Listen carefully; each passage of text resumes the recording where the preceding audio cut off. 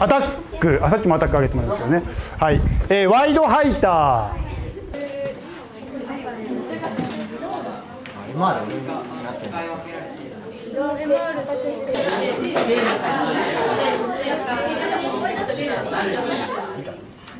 る。ほどなるほど。ああまあじゃあちょっと近くに貼っときますかね。同じっていう人違うっていう人でいるので。よいしょ。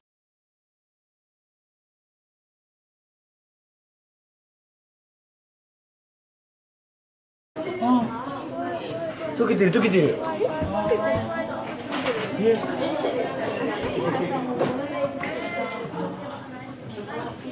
えこれ見ると本当に洗っちゃいけないって分かるんだけど。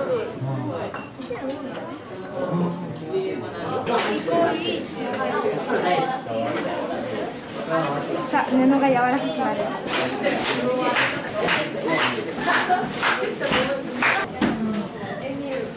うん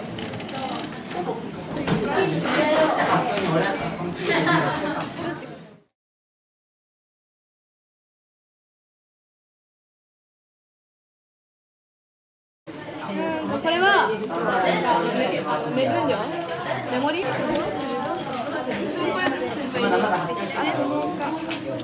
えこれ自分あちょっとちゃこれすたい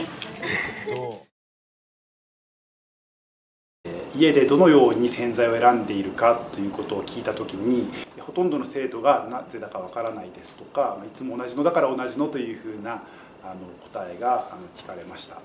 えーその実験の結果からどういったことが分かるかというようなことを生徒自身が考えたり実際に洗っている衣類の材質などによって考えることができるようになったのではないかと思います。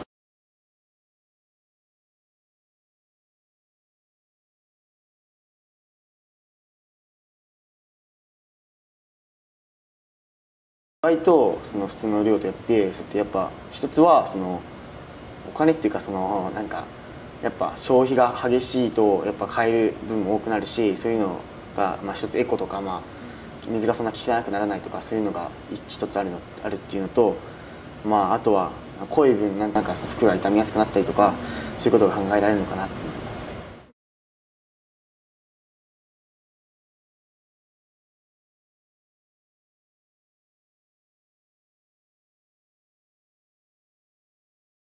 実験やった時にすごいほどけちゃ布がほどけたのですごいなんかだった方が測ったってなんかそのちゃんと見た方がいいのかなと思ってちゃんと心が。け